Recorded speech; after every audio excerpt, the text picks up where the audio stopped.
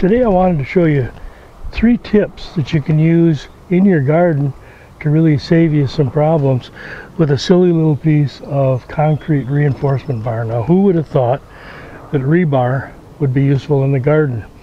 But check this out. Whether you're in uh, raised beds with sides or just in a conventional garden, on the corners of your garden, drive in length isn't really that important. Drive in some length of reinforcement bar.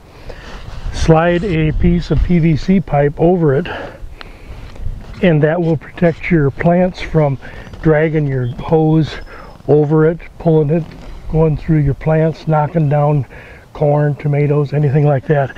Having one of these on each of the sides will save you from running over any of those problems as you go through your garden. Secondly, drive the other rod in. All you have to do is slide it off. Then at the end of the season, or if you want to uh, extend your season to grow longer in the fall or even get an earlier start in the spring, get some white PVC pipe, slide down over the end of one of your stakes, slowly and carefully bend the other end over and slide it down over the end of the other stake and you now have a hoop. Repeat on the other side, cover with your uh, material and you now have a simple raised, not a raised bed, a simple uh, hoop house or protection for covering your plants. If you don't need it this high, simply cut down the length of the pipe and carefully make sure it's a little warm when you form it.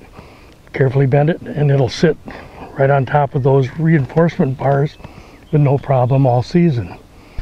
And the third thing you can do is take the PVC covers off, buy yourself some metal tubing that's used for like electrical conduit, some connectors, cut to any length that you have your beds or direction that you want to do, put them together. I keep them the same distance as I do the width of the beds.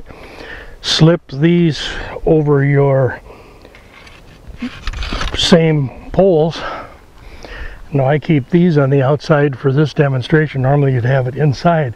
But with this frame up, now you can spread a string netting for beans, peas, any climbing vegetables or flowers will take it very easily. They love this sort of thing.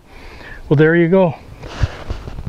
Three uses for a simple little piece of industrial PV or uh, cement uh, reinforcement bar. Who would have thought? The biggest benefit I get is all of these protections from dragging my hose over it. Hope you have the same thing. Thanks.